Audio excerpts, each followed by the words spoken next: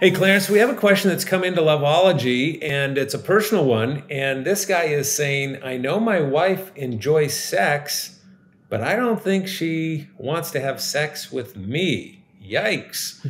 what do you have to say about that? Well, I'll say a couple of things. One, it's good that she want that she enjoys sex with you. That's good because if she yeah. wasn't, that could be a problem.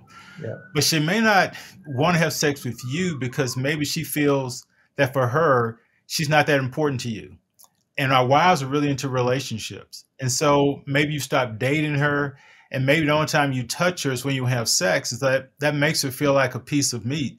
And so she, you know, she really wants you to want to be with her. And I heard Melanie Fleming, who was who co-authored a book called The Dance of Restoration, uh, Overcoming Marital Infidelity. And, and what she said was it's much riskier for women to have sex with men than for men to have sex with women. And what she meant by that is that most women, not necessarily all women, have to open themselves up emotionally to us before they can open themselves up physically. And so if you're not paying attention to that, that may be why she enjoys sex but doesn't necessarily want to have sex with you right now or as frequently as you would like to have it.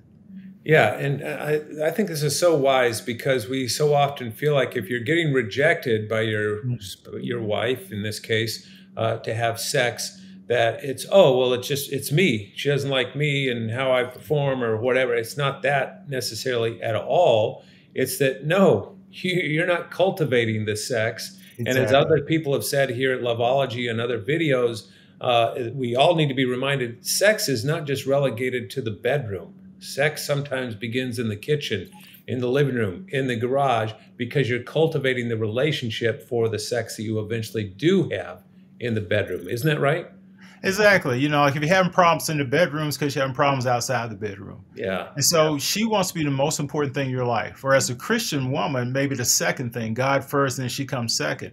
And if she doesn't feel that way, then it can translate of not wanting to feel close or not feeling close with you. Yeah. Uh, another thing I'm hearing from a lot of women that I counsel with their husbands is that they don't always feel safe. Mm-hmm. And so mm-hmm. they want to feel safe with you. Yeah. And being safe is how you treat them, how you talk to them.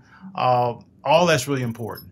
Yeah. Uh, I tell guys, you know, hey, you know, why don't you text your wife during the day, just say I love you or I'm thinking about you. Yeah. And how long does that take for you to text? Maybe two seconds. Right. If you do that a couple times a day, that's gonna make her feel really good about you that you're thinking about her not just when she's in your presence. Yeah, creating that emotional safe zone. So Clarence, yeah. very helpful information as always here at Loveology. Thank you.